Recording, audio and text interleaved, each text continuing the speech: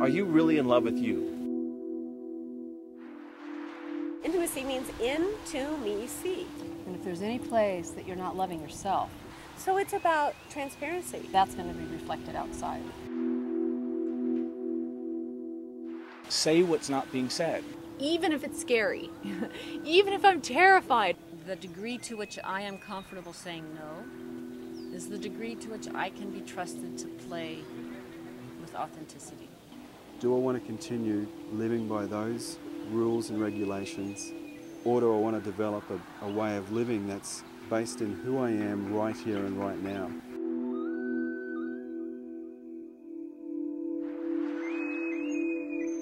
As long as we're vertical, we're going to be attracted to other people. Whatever you resist persists. I, I think these are the uh, foundational practices for deeper love. This work isn't any, it's not about healing anymore, it's about celebrating. Toe sucking, for example. Many people have never tried that.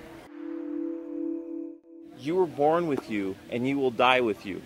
So the love affair that you have with you is the most important love affair in the entire existence. That's the juice.